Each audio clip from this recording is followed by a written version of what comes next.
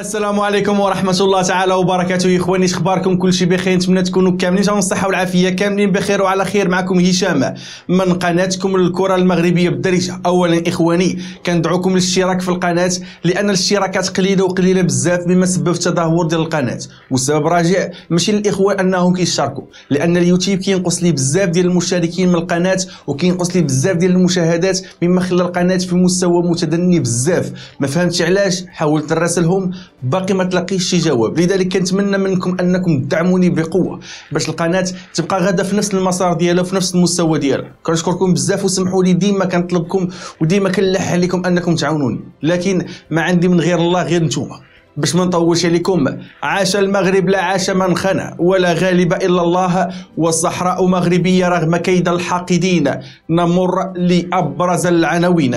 حرب الكلاشات بين مغني الراب في المملكة المغربية والجزائر. وعبد المجيد كتبون قليل العقل يدخل على الخط. القضاء الهولندي يدين مقتحمي قنصليتين مغربيتين. دافيد غوفرين مدير مكتب الاتصال الإسرائيلي بالرباط يقصف الجزائر.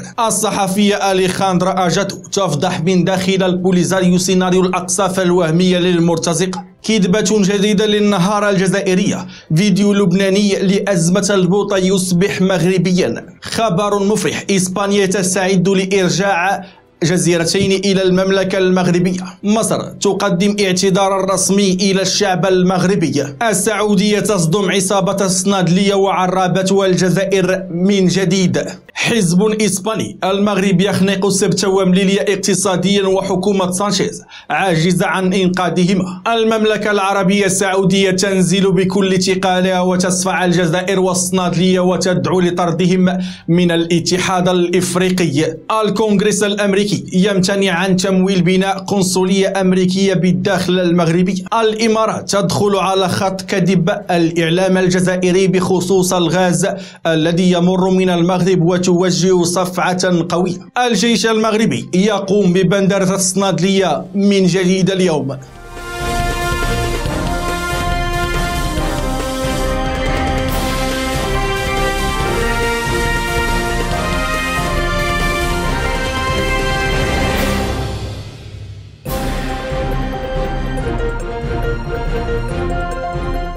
تحدى مغني الراب توفيق حازب المعروف بلقب دومبيك رئيس الجمهورية الجزائرية عبد المجيد كدبون حينما خصص مكافأة لمغني الراب الجزائريين من أجل الرد على كلاش موجه للدومبيك وحسب ما نشرته قناة جزائرية فإن الرئيس الجزائري عبد المجيد كذبون قد خصص مكافأة مالية قدرها مليون دينار جزائري أي ما يعادل 66 ألف درهم مغربي لمغني راب جزائري يوجه clash إلى ال rappeur المغربي الدون بيغ من جانبه رد الدون بيغ في مقطع فيديو نشره على موقع التواصل الاجتماعي انستغرام. يتحدث فيه الرئيس الجزائري عبد المجيد كذبون ويقول فيه بسم الله الرحمن الرحيم والحمد لله رب العالمين والصلاة والسلام على أشرف المرسلين. على حساب قناة جزائرية الرئيس الجزائري عبد المجيد كذبون غيهدي مليون دينار لأي واحد غيجاوبني ب clash جديد. أنا كنقول الإخوة الرواب الجزائريين اللي جاوبني وعجبني الكلاش ديالو غنعطيه جوج المليون دينار جزائري. الجزائري وتعود تفاصيل هذه الضجة بعدما أشعل مغني الراب المغربي الملقب بين قوسين بحليوة حرب كلاشات بين مغني الراب في المغرب والجزائر على خلفية اتهام المغني الجزائري ديدي كانون المغني حليوة بسبه لأمه.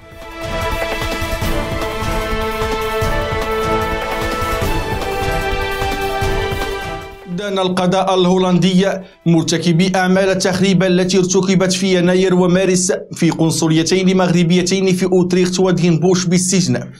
وحسب مصادر قضائية هولندية فقد تم حرمان المتهمين من الحرية لمدة سبعة أيام مصحوبة بالتزام بعدم الاقتراب من التمثيليتين القنصليتين لمدة عامين.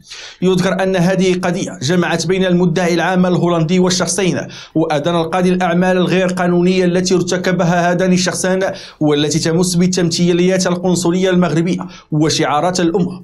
وذلك إدراكا منه لخطورة الجرائم المرتكبة كما كما أعلن أن عمل القنصليتين يجب أن يستأنف مساره الطبيعي من أجل الاستجابة لطلبات الجالية المغربية بكل هدوء.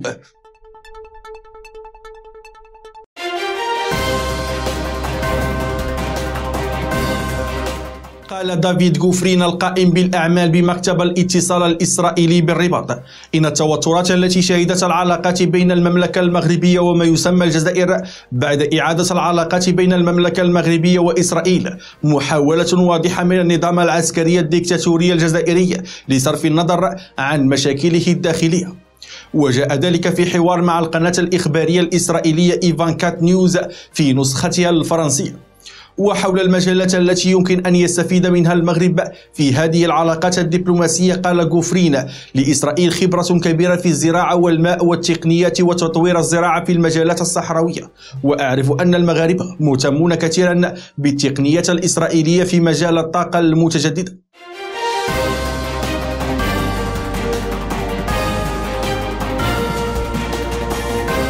أكدت الصحفية الإسبانية أليخاندرا أجاتو في جريدة إلبايس أن مرتزقة تندوف أخذوهم بسيارة عسكرية رباعية الدفع لحضور الهجوم العسكري بين مزدوجتين الذين سيشنوه على مواقع مغربية قرب المحبس. وأضافت المتحدثة أنه حين فاجأتهم القوات المغربية بثلاث قذائف هاون تعمدت عدم إطلاقها نحوهم بشكل مباشر أطلقوا جميعا سيقانهم للريح.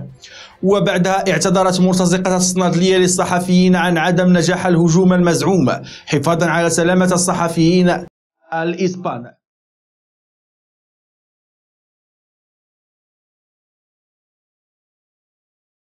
من جديد. إعلام النظام العسكري الدكتاتوري الجزائري يزور الحقائق ويفتري على المغرب حيث روجت قناة النهار الجزائرية لفيديو يظهر تهافت مجموعة من الناس على قنينة الغاز في إشارة إلى قلته وندرته. ونسبت القناة الناطقة بلسان حال العسكر الجزائري تلك المظاهر إلى الشعب المغربي محاولة الربط بينها وبين الحاجة إلى الغاز الجزائري الذي من الممكن أن تنهي الجزائر إمداده للمغرب بعد نهاية أكتوبر الجاري. وأفادت مصادر إعلامية أن الفيديو يعود إلى لبنان في الأصل ما يؤكد افتراء القناة الجزائرية وإخلالها بالمهنية وتماديها في تزوير الحقائق.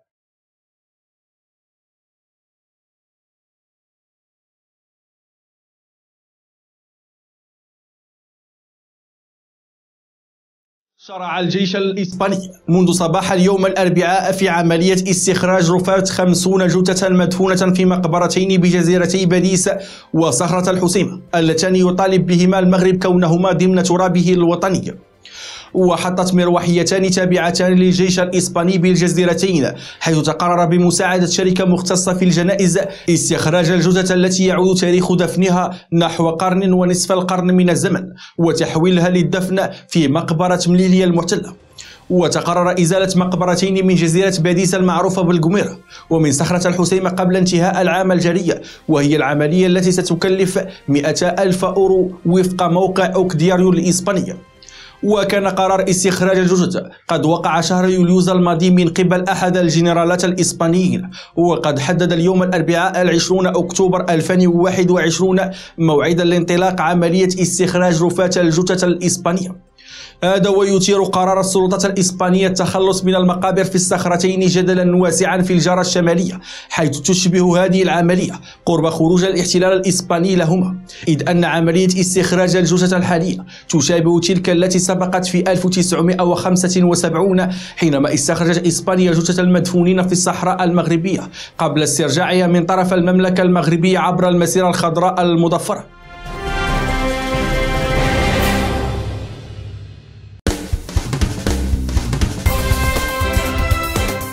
قدمت إدارة مهرجان الجونة السينمائية الدولي المصرية باعتذار رسمي للشعب المغربي قاطبة بسبب عدم تقديم النجم العالمي من أصل مغربي رضوان والملحن المغربي نعمان بن العياشي خلال افتتاح الحفل موضحة ما حدث خطأ غير مقصود في الإعداد للحفل وأعربت عن أسفها لوقوعه وتتمنى عدم تكرارها وتأسفها للشعب المغربي قاطبة وأكدت إدارة المهرجان في بيان رسمي أمس الثلاثاء احترامها الكامل لمشاركة الفنانين باعتبارهما قامة فنية عالمية ذات شعبية هائلة في المغرب والعالم العربي والعالم قاطبة وتقديرها للإنتاج الفني لهؤلاء المطربين. وتوجه إدارة المهرجان المصرية بالشكر للفنان رضوان والملحن نعمان بالعياش على الأداء المتميز الذي تم تقديمه خلال حفل الافتتاح مؤكدة اعتزازها بالمشاركة المغربية في مهرجان الجونة الدولية المصرية بكل دوراته سواء من الأفلام المغربية المشاركة أو صناع الأفلام أو كل الحضور والمشاركين.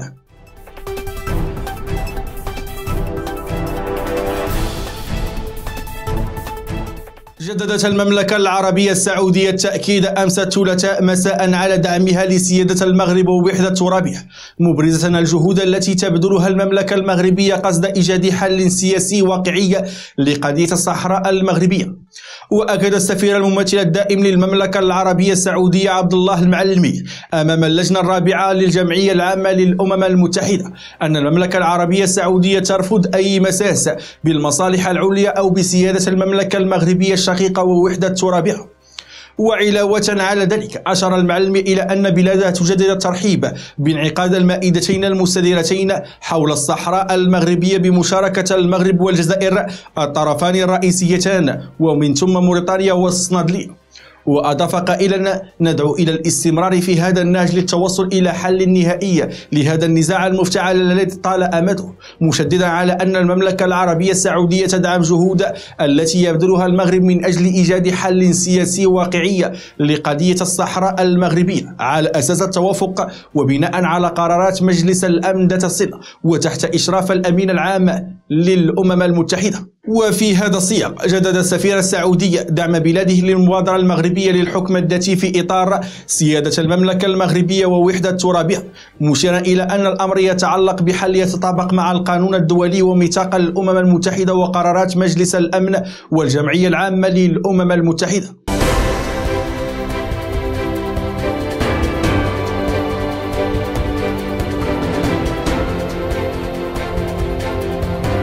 انتقد حزب فوكس اليمينية العنصرية المتطرف سياسة حكومة بيدرو سانشيز تجاه مدينتي سبتة ومليليا المحتلتين معتبرا أن تردي أوضاعها الاقتصادية ناتج عن خنقها اقتصاديا من طرف المملكة المغربية في ظل غياب خطة بديلة واستراتيجية محكمة لتجاوز الأزمة ولإنقاذ المدينتين المحتلتين من الانهيار الاقتصادي.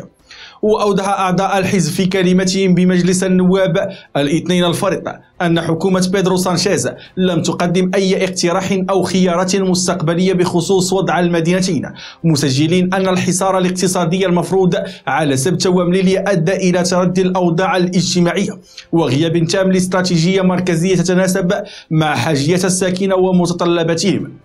في سياق متصل أشارت النائبة البرلمانية تيريزا لوبيز إلى أن الحكومة الإسبانية الحالية متورطة في هذه الانتكاسة الاقتصادية من خلال سماحها بنشاط التهريب المعيشي انطلاقا من المعابر الحدودية. ما جعل الحكومة الحالية عاجزة عن التخفيف من حدة الأزمة الاقتصادية والتي بدأت تستفحل بعد إعلان المغرب غلق الحدود البرية وبالتالي وقف نشاط التهريب المعيشي.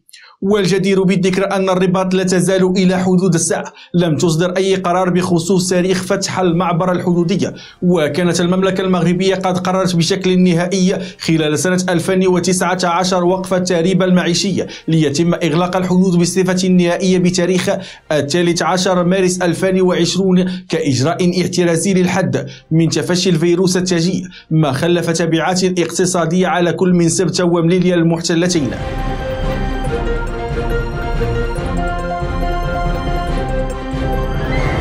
تضامنا مع المملكة المغربية والشعب المغربي. نشرت الصفحة الرسمية لقناة العربية السعودية الواسعة الانتشار صورة الحملة الدولية لطرد عصابة الصنادلية من منظمة الاتحاد الإفريقي.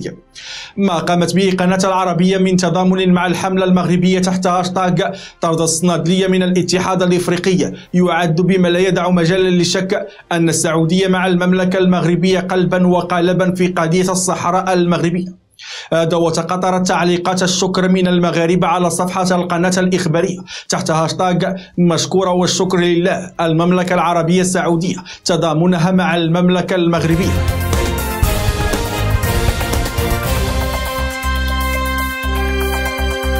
صادق مجلس الشيوخ الأمريكي الكونغرس على قانون الاعتماد بمنع وزارة الخارجية الأمريكية من استعمال الميزانية المخصصة لها في بناء أو تشغيل أي قنصلية بأقاليم الصحراء المغربية. وحمل هذا القرار الصادر عن الكونغرس الأمريكي فقرة تنص على وزارة الخارجية الأمريكية تحديدا منع استعمال أي نوع من المخصصات أو أموال لبناء أو إنشاء أو تشغيل أي قنصلية بالصحراء المغربية. كما جاء قرار المنع بعد مصادقة الكونغرس الأمريكي على قانون المالية والمخصصات والاعتمادات لوزارة الخارجية الأمريكية لسنة 2022 وقد نصت وثيقة قانون الاعتماد ميزانية الحكومة في صفحته 101 على ما يلي ألا يتم تخصيص أي جزء من الأموال أو خلاف ذلك من الاعتمادات المتاحة بموجب قوانين سابقة لوزارة الخارجية والبعثات الخارجية وغيرها من البعثات في بناء أو تشغيل قنصلية أمريكية بالصحراء المغربية. وأضافت هذه الوثيقة أن كل هذه الأموال المخصصة لوزارة الخارجية الأمريكية هي تخص فقط دعم العملية السياسية بالصحراء المغربية ولأجل تسوية نزاع الصحراء تحت السيادة المغربية. وكانت الولايات المتحدة الأمريكية قد أعلنت السنة الماضية سيادة المغرب الكاملة على أراضي صحرائية وذلك في قرار تاريخي للرئيس الأمريكي السابق دونالد ترامب حيث تجسد لاحقا هذا الإعتراف بافتتاح قنصلية أمريكية افتراضية بالداخل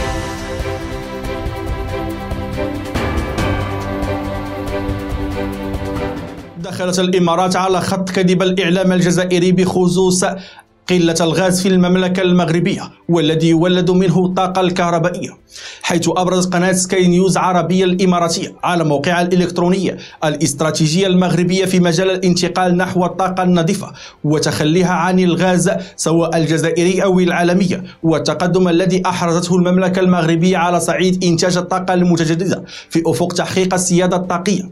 من خلال مشاريع ضخمة تطلبت استثمارات كبيرة. وكتب الموقع بمناسبة تنظيم الأسبوع الاقتصادي المغربي بالمعرض العالمي إكسبو 2020 دبي أن المملكة المغربية احتلت المراكز الأولى في منطقة الشرق الأوسط وشمال إفريقيا بمؤشر المستقبل الأخضر والذي تصدره منصة ام اي تي تكنولوجي ريفيو والذي يصنف 76 بلدا وإقليما وفقا للتقدم على درب مستقبل الأخضر من خلال تقليص انبعاثات الكربون وتطوير طاقة نظيفة والابتكار في القطاعات الخضراء. الخضراء. يأتي هذا الرد الإماراتي بعد الكذبة الجزائرية بخصوص أن المغرب يحتاج إلى الغاز الجزائري وإلا سيموت بردا.